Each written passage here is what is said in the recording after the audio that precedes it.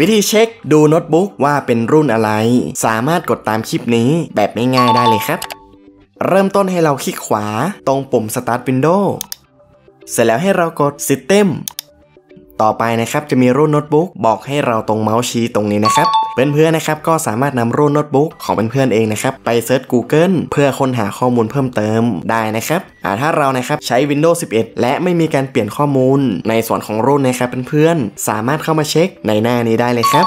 อีกวิธีนะครับสำรองไว้เผื่อเพื่อนๆใช้วิธีที่ 1 ไม่ได้ ให้เรามากดคลิกขวาตรงปุ่ม Start Windows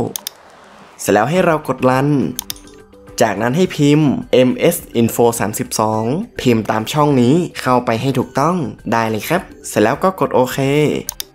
อาทีนี้นะครับชื่อโน้ตบุ๊กของเราจะมาอยู่ตรง System โมเดลตรงนี้นะครับเพื่อนๆก็สามารถเข้ามาเช็คเข้ามาดูได้เลยครับ โอเคครับ และทั้งหมดนี้นะครับก็คือวิธีการเช็ครุ่นโน้ตบุ๊กแบบง่ายๆนะครับ ถ้าคลิปนี้เป็นประโยชน์ก็ฝากกดไลค์คลิปนี้ เพื่อเป็นกำลังใจให้กันได้นะครับ แล้วพบกันใหม่ในคลิปหน้ากับช่อง b e n t e c h สอนใช้ Android นะครับสำหรับคลิปนี้ต้องขอตัวลาไปก่อนนะครับ สวัสดีครับ